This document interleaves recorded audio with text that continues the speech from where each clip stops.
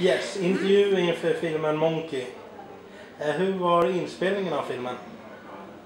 Vi kan börja hos Ja, ehm, jag tycker att det var väldigt roligt eftersom Maria Blom jobbar mycket, har jobbat mycket med teater. Eh, så tycker jag att hon jobbar med oss skådespelare på ett härligt och roligt sätt. Vi, får, eh, vi fick ju repetera och eh, allt ifrån hur går din karaktär till hur pratar hon, hur sitter hon, vad är vår relation, eh, var har de träffats, allt sånt. Så det, var, det tycker jag var jätteroligt. Att, det brukar man inte ofta få göra Nej.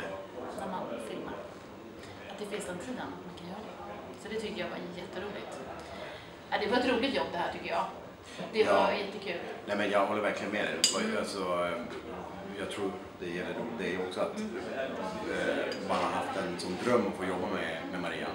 Så att sen hon gjorde teaterföreställningar eh, det- på Stadsteatern så var det så här, man bara wow, jag skulle så gärna vilja jobba med den här personen som har gjort de här.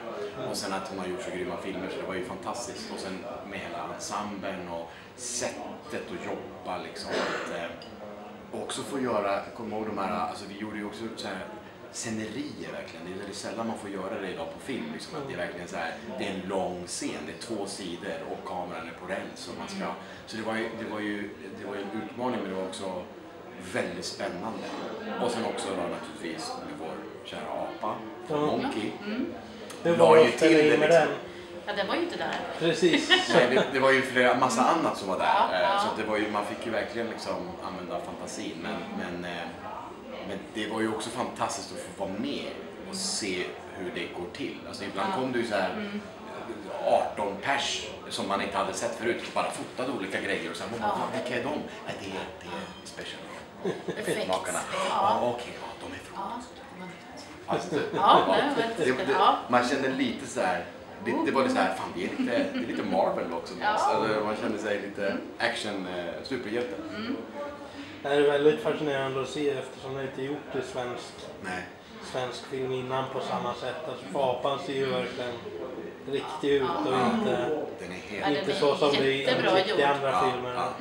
Ja, den är jättebra gjord. Eller hur? Ja, jag har sett, Ja. jag har bara sett en liten Det är, det är trailern man ser den som Mm. bäst gjord eller man ska säga. Det är där den är helt klar. Ja, ja det är ju proffsigt. Eh, hur fick ni rollen till den här filmen?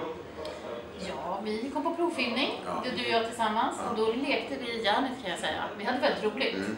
Ehm, Vi ville båda ha den här rollen, rollerna så mycket. Ja. Så att, så att eh, de, de, de, det var ju så flera omgångar.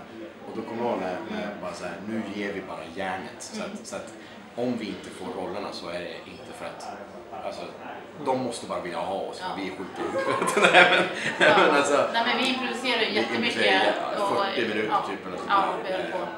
Vi gick in i en bil kommer jag ihåg utan att öppna dörrarna Ja, varje ja, gång. Vi bara satte ja. oss och sen stängde vi dörren och så fast Ja. ja. ja, det var bara, det var helt Och, och. Maria hade, Maria hade ska, mejlat Karlsson och sagt så här, men kan de, de, se om de kan få så här äh, egna skratt, alltså likadana skratt som ett par så här. Just det. Så det började vi, det började vi hålla på med så att efteråt känner man så här, nu har vi hållit på en timme och man vet inte vad man har gjort heller. Men det har varit så himla roligt. Eh, och så, så ringde ju de, det var ju typ dagen efter, eh, när det var så här, nej vi måste ha er två, vi måste bara Vad roligt. Ja, så det var, det var faktiskt... Nej, men det är kul när det funkar. Alltså, Ja, Det är kul att få jobba med dig. Ja, vi har ju inte jobbat ihop förut, Nej. även om vi På har... scen har vi gjort det en gång. Det har vi gjort, Du precis. spelade min lärare Ja, precis. när jag var yngre. Så var det. Mm. Men det var jättekul. Mm. Ja, men det var det verkligen. Ja, vi har känt men- varandra. Men sen är ju också så här Marias ingång med det som är så intressant, att hon är så intresserad av, eh, förutom liksom själva berättandet naturligtvis, så är hon så intresserad av skådespeleriet. Hon har ingen ängslighet när det gäller, till när det gäller humor till exempel. Så, så att man vågar ju också pusha lite och se, kan man höja lite, kan man sänka lite? Man känner sig väldigt fri. Då- Ändå att det var kran och det, var, det är allt möjligt så här som kan göra att man blir nervös för att man vill, du, vet, du vill inte vara den som förstör en tagning när det är så här, vi har repeterat med en kram i två och en halv timme så bara så här, nej han gick fel liksom. Men, men och sen så med en sån fantastisk skådespelare som Sofia och resten av gänget så, så det blir ju väldigt roligt att ha, det är långa dagar och, och krävande men det är ju fantastiskt att få gå in i det och testa det och också få vara med i en film som man själv vill se. Alltså, jag skulle ha sett den här filmen ändå. Om jag inte hade varit med så hade jag ändå varit och Ja. sett den på bio. Så. Det är perfekt för min nästa fråga. Varför ska man se den här filmen? För att vi är med. Ja. Men, eh, nej men... eh, Nej, men, det, det, men det är en feel good film det här och det är för hela familjen. Och eh, bygger mycket på relationer också.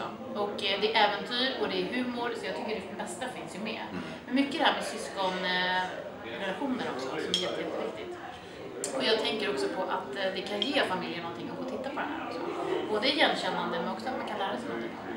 Jag tror, och sen är det mycket humor alltså. Vi är ju med, hur? Ja, ja, då blir då, då kan. I bästa fall kan det bli lite roligt. Nej men det, jag håller, det, men det är ju verkligen, det det är en sån här du vet, känslan av den här feelgood-filmerna som man själv växte upp med. Som man på något sätt hela tiden längtar tillbaka till. Mm. Och Det- saknar. Ja, har saknat.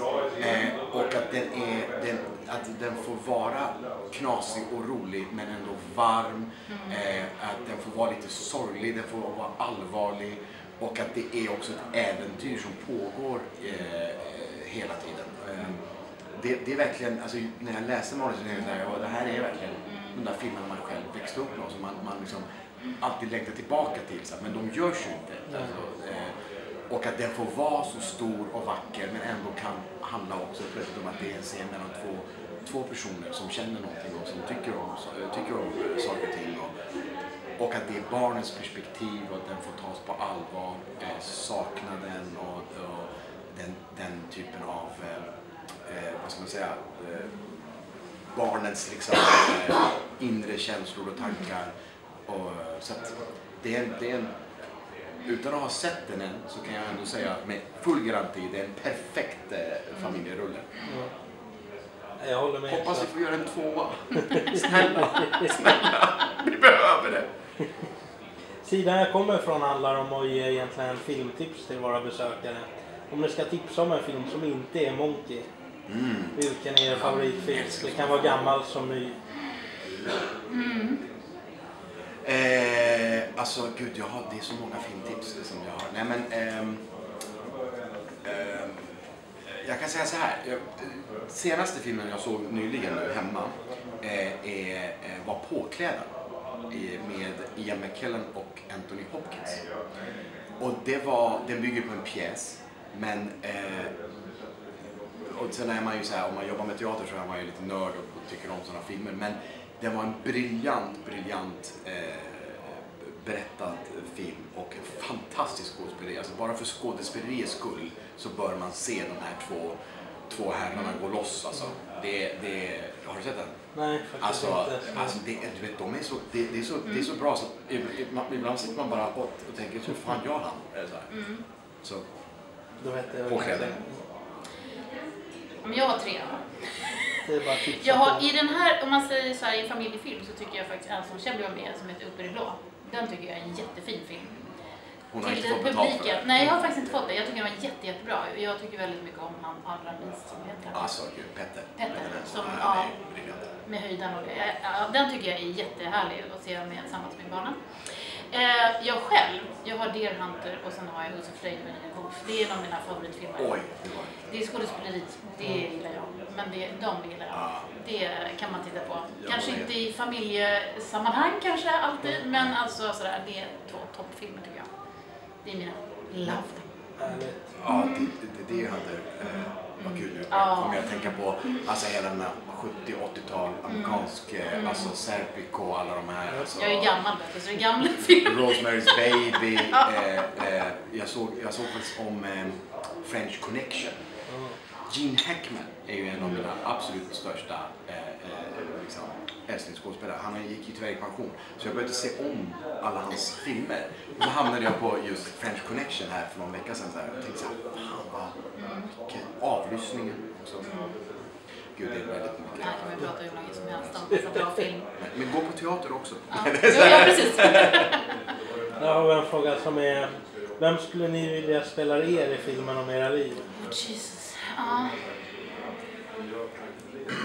Eh, eh, Det ska ju vara någon som lever nu. Alltså.